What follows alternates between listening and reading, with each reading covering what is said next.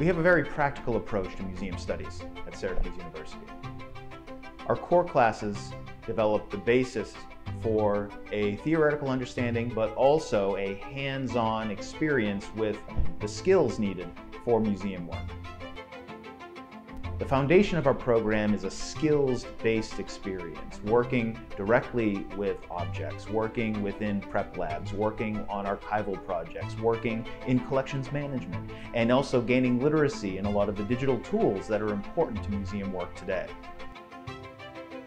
I see museum studies personally as kind of a meta discipline where it doesn't matter what your background is. If you love museums, you want to love and you want to work in museums, you could be a biologist, you can be an English major, you can be a fine art major or an art history major, or like myself, you can be an anthropologist. The Syracuse University Museum Studies program takes a fall trip every year. In 2018, I got to go to Boston. I think we saw eight museums over three days. It was a lot, but it was really cool to experience. Another important part about the program is our immersive approach, where we work both in the classroom and outside the classroom with our community museums and cultural heritage centers. The Seward House Museum, the Erie Canal Museum, the Everson Museum of Art, the SU Art Museum. These are all our laboratories. Here at the Art Museum, we utilize the students from the graduate program in many ways.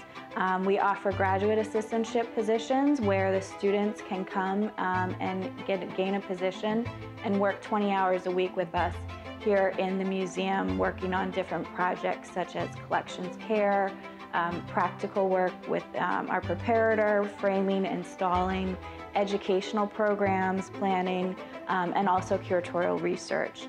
These students are not only students, but they're our colleagues, and they're gaining professional skills that will help them uh, gain a position once they graduate. We also have an incredibly engaged alumni network. Um, we are in touch with many, many of our alums um, all the time. My first internship was at the Morris Museum of Art in Augusta, Georgia, that I actually got to um, intern under a former alumni of the program.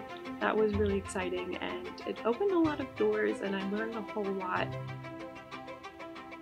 Most museum studies programs talk about the balance between hands-on experience and theoretical discussion.